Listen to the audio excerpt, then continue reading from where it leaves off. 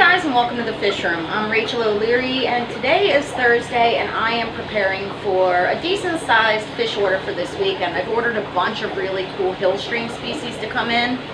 So cross your fingers they do. Um, so today I'm just going to take you around and show you what I do to prep tanks for new critters. Uh, this will include getting rid of duckweed, giving a deep gravel vac, emptying them most of the way, wiping down the inside glass, and then refilling them.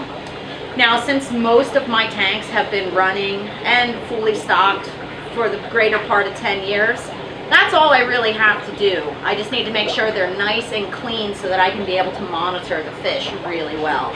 So I have 12 hillstream species coming in this weekend. Um, so I need to make sure the sponges are all clean so they're putting out the most bubble output as possible and make sure that the substrate is removed or at least super clean and thin so I can monitor if they're eating, what they're eating, how they're eating, if they're pooping, what their poop looks like, and their general overall health. So let's get started.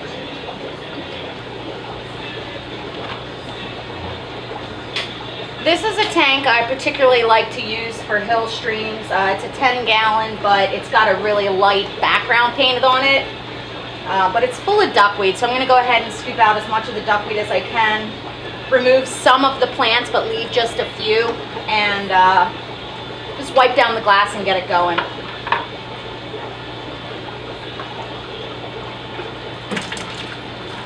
I'm gonna start by giving it a really solid vacuum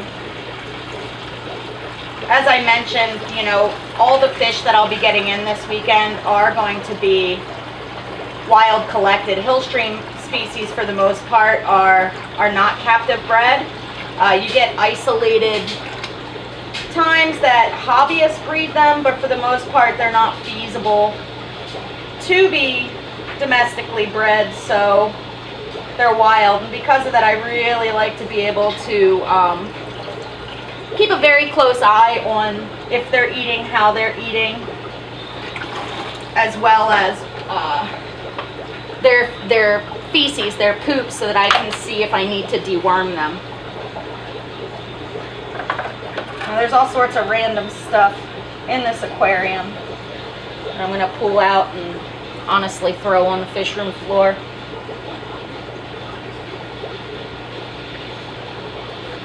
Now this tank also houses uh, carbon shrimp, which I'm just going to leave in here because um, quite a few of the species of hillstream I'm getting in are aufwuchs grazers, and that means that they only really eat algae, and if microcrustaceans are stuck in that algae, but they're not actual predators. Uh, specifically, things like stiphodons can do really well with shrimp, and to, to wash my sponge filter, I'm just rinsing it in my bucket. And then this one has a bunch of old moss stuck to it that's not looking super fantastic. So I'm just pulling that off and dropping it in the bucket. Now, I don't need to use buckets, but I am in this case because it's also a shrimp tank.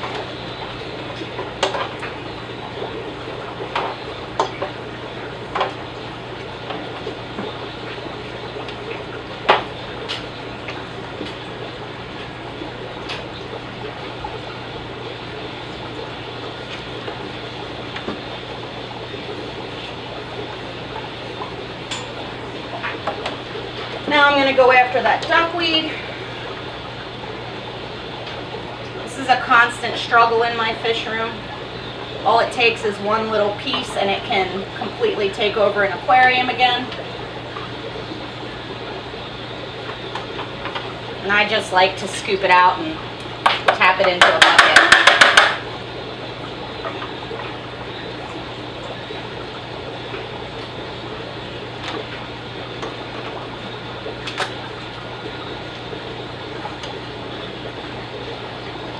And the main reason I get rid of the duckweed in these quarantine tanks is that I'm really concerned about cross-contamination with wild fish. And duckweed tends to stick to your arms. And I don't want to have even a scrap of duckweed stick to my arm from one quarantine tank to potentially be uh, introduced to another. I'm going to finish vacuuming. And as I'm vacuuming, I'm wiping down the glass.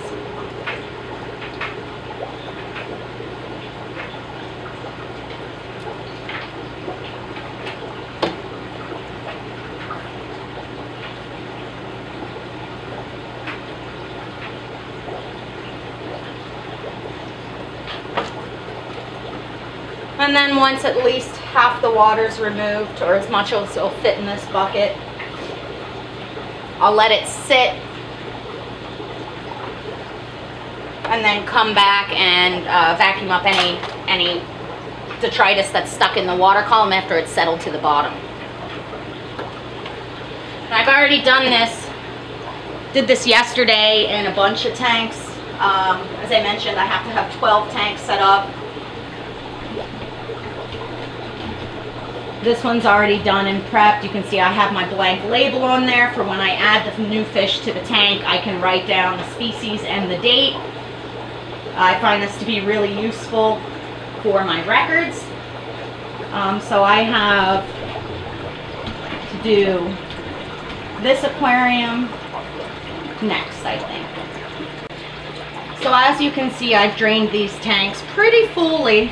Um, and it's a little dark up there so it's kind of hard to tell that water's actually clear. Um, but I'm gonna go ahead and let them sit for a few minutes and then refill them um, I cleaned the sponge filters and moved the plants all to one side so I'll be able to reserve the fish easier. Here are a couple examples of ones I set up yesterday. You can see the glass is really clean. The hardscape and substrate is really minimal. Um, Everything's just set up for the best observation. And this is really how I like my quarantine set up. I have one, two, three, four, about eight done so far and about five more to go.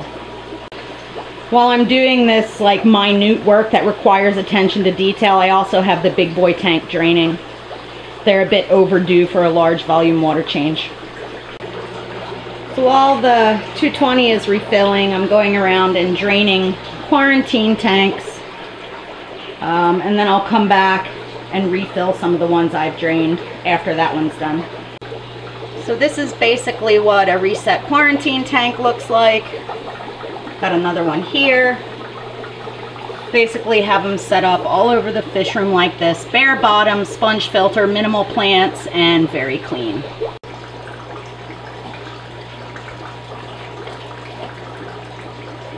Another thing that's uh, due today is sterilizing my equipment. So I have the water set to totally hot.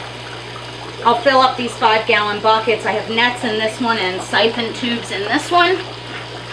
And then I will add just a little bit of bleach and let them soak and then rinse them out really well in hot water again and then let them dry. Uh, one thing I'm noticing as I've collected all my nets is another unfortunate uh, casualty of doing business is I'm really getting low on nets, especially the larger ones. Something just hit me in the head. Um, I'm really getting low, especially on the larger nets, so that looks like something I'm going to need to order pretty darn soon. I have lots of this size, but I like the bigger ones, especially for catching little fish. It makes my life way easier, and it makes things go way faster when you have a big net. Um, so as I said, I'm just going to be filling up these buckets, adding some bleach, flushing with hot water. Some of my siphon hoses have a bit of algae built up. So I'll put some string on one of these bottle brushes and just run them through to clean out the insides as well. I won't bore you guys with watching all that. Um, what I really should be doing is tackling the mess in my office but I, I don't I don't know if I'm going to do that today or not. Uh, it has rained every day for a month, so I have not gotten to get outside to show you guys an update on the tubs. I have been out there checking on them. I've had tons of flowers and fry. If you follow me on Instagram, I put, update that almost every day. Um, but as you can see, things are plugging along in the fish room. I now have 15 tanks cleared, emptied, and reset ready for quarantine and I have about five more I want to consolidate to have available for some South American fish that I'll buy from a domestic source. Anyway, thanks as always for watching. Let me know below if you guys have any comments, suggestions, or questions. Uh, stop by my Instagram, my business Facebook, and my website to see my upcoming speaking engagements, my current stock list, and information on all things nano.